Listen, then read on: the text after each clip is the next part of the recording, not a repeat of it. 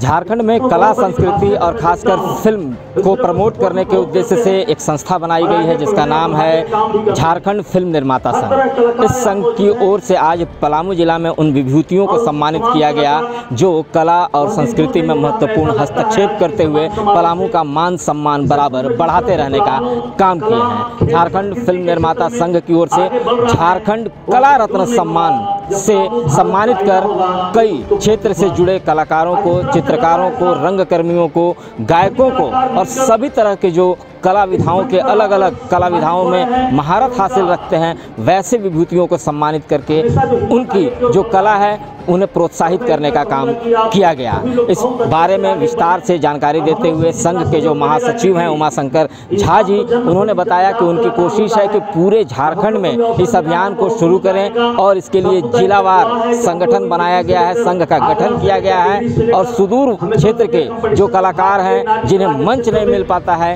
जिन्हें जानकारी के अभाव में वो फ़िल्म में हस्तक्षेप नहीं कर पाते हैं, उनके लिए यह जो संघ है वो काम आगे भी करेगा और उसी की कोशिश आज पलामू जिला में देखने को मिली है। झारखंड फ़िल्म निर्माता संघ अपने आरंभ काल से ही ये प्लान में था कि हम लोगों को विभिन्न जिलों में जाकर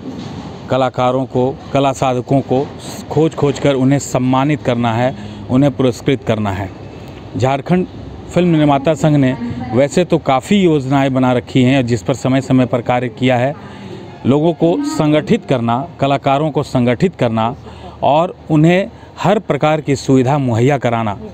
अभी फ़िलहाल कोरोना काल में भी झारखंड फ़िल्म निर्माता संघ ने राशन से लेकर के दवा चिकित्सा तक की सुविधा उन असहाय और ज़रूरतमंद कलाकारों के लिए किया है। हम कलाकारों के बीच में प्रशिक्षण देने का कार्य करते हैं। कलाकारों के बीच में सामाजिक सुरक्षा की देने की देने का कार्य करते हैं और उनकी विभिन्न समस्याओं का निपटारा भी करते हैं। अभी तक झारखंड फ़िल्म निर्माता संघ ने अपने कार्यों से अ, 200 के ऊपर कलाकारों का के समस्याओं को सुना है और उसका निराकरण भी किया है। वहीं सम्मान पाकर प्रफुल्लित कई कलाकार काफ़ी उत्साहित नज़र आए और कलाकार जिन्हें सम्मान मिला, उन्होंने कहा कि इस तरीके की पहल बेहद ही ज़रूरी है। मुख्य युवा रंगकर्मी मनीषा सिंह ने बताया कि ऐसे पहल से कलाकारों को प्रोत्साहन मिलता है और वो और अपने कला के क्षेत्र में और बेहतर कर पाने में सक्षम हो पाते हैं। ये बहुत अच्छी पहल है, लड़कियाँ आगे आएँगी, क्योंकि ये हौसला बढ़ाता है, अगर कुछ सम्मान अगर मिलता है तो सम्मान एक प्राप्त करके हौसला बढ़ता है और आगे काम करने के लिए एक प्रेरणा मिलती है कि इससे और बेहतर किया जा सकता है।